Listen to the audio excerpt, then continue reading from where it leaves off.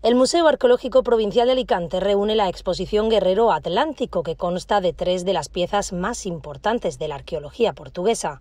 El Torques de Vilas-Boas, también conocido como Torques das Tamancas, una de las joyas con mayor oro de la prehistoria de Europa, pertenece a la cultura castreña y es protagonista de la exhibición. Además, recientemente estaba expuesto en el Museo Nacional de Portugal, donde es catalogado como Tesoro Nacional. Esta pieza tan única destaca por estar completamente elaborada en oro y consta de dos partes, un aro o varilla curva que enlaza con dos remates huecos para encerrar un gránulo de oro. Por primera vez se reúnen en una muestra única tres de los más importantes e icónicos símbolos de la arqueología portuguesa.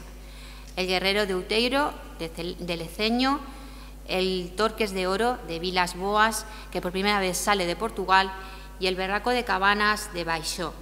Las tres piezas están reconocidas como Tesoro Nacional de Portugal.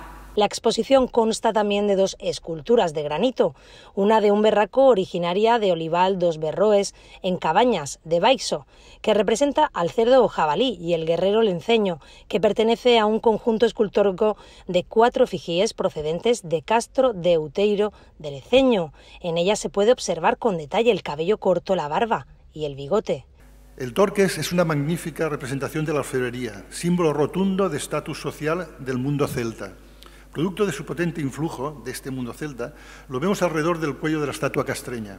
Se conocen un gran número de este tipo de ornamentos personales, pero el que ahora alberga el museo es sin duda uno de los más sobresalientes y es realmente un privilegio a que agradecemos que, como han dicho ya antes mis predecesores, es la primera vez que traspasa las fronteras de Portugal y lo tenemos en este museo para disfrute de todos nuestros visitantes.